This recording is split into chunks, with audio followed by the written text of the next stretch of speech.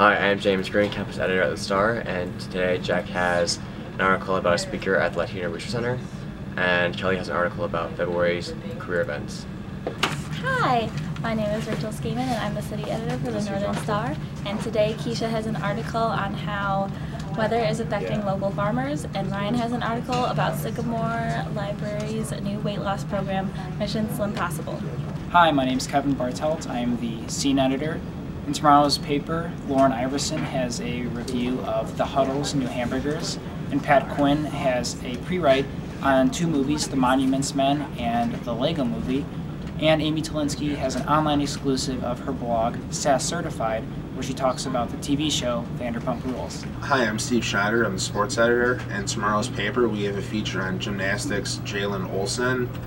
We have a recap of women's golf from their week at MAC match play in Florida.